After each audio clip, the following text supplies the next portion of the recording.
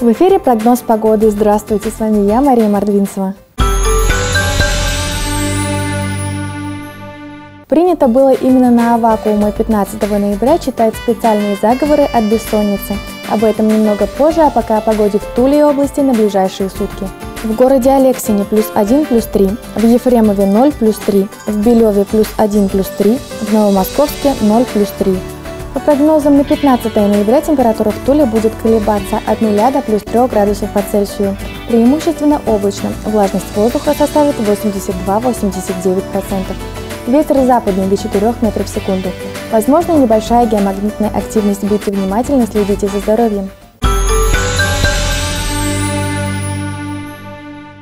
Девушки проводили посиделки, но не веселились, а занимались шитьем и рукоделием. Важно было напрячь как можно больше к ближайшим праздникам.